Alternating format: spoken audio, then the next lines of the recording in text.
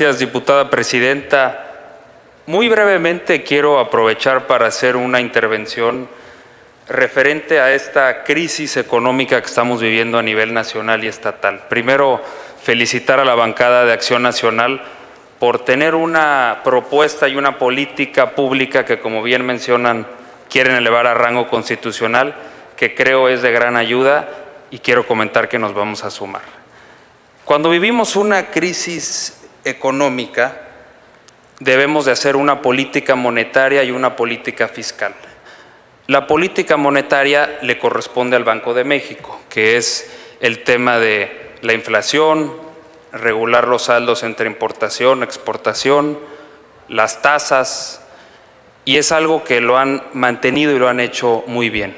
La política fiscal le corresponde al Ejecutivo y a los legisladores, en este caso a la Cámara Federal con el tema de ley de ingresos.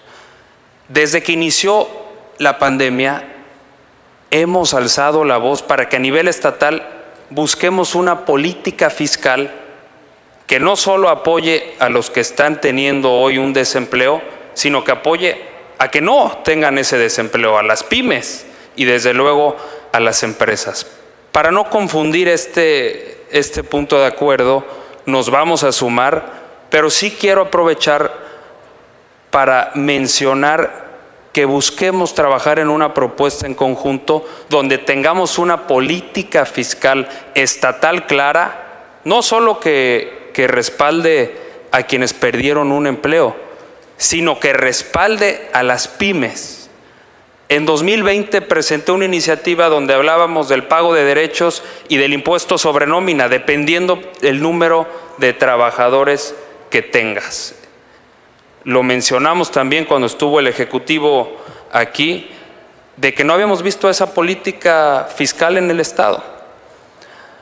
Así que con gusto de mi parte, y estoy seguro los compañeros del Partido Verde se suman, pero insisto, aprovecho este momento para que busquemos una propuesta en conjunto que pueda generar una política fiscal estatal que cuide a las pymes y también a los desempleados. Es cuanto.